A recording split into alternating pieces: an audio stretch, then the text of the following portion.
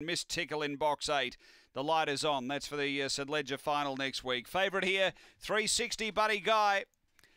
Away they go. Speed from the inside. Predecessor going quickly now. Dissociative and out deeper. Aston Frank and Chief Sabon burning through. Chief Sabon's going to punch up and lead from Dissociative as they go to the back two. Clear of Aston Frank. Uh, then Letty the Jet. Predecessor. Next is Master Chaos. Buddy Guys well back with Coriong McLaren. Down the back and off the back. Chief Sabon tackled by Dissociative. Right behind them Aston Frank up to the bend. Dissociative moving to Chief Sabon. Then Aston Frank late. It's a driving finish. It lifted Chief Sabon. Chief Sabon lifted to beat Dissociative and Aston Frank, and behind those, Letty the Jet. Uh, then Corion McLaren, Buddy Guy, predecessor. It was back at the end. The time here is 30.47.